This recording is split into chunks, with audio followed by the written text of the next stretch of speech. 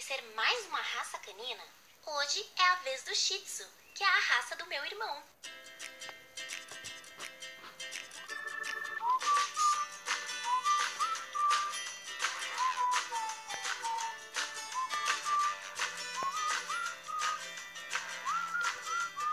O Shih Tzu surgiu do cruzamento de antepassados do pequinês moderno.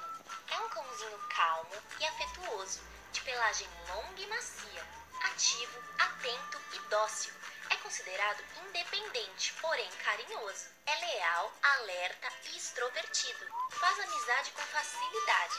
Tem porte pequeno, no máximo 27 centímetros de altura, chegando a pesar até 8 quilos. Gostaram de conhecer o Shih Tzu um pouquinho melhor? Então inscreva-se no canal e dê um like nesse vídeo.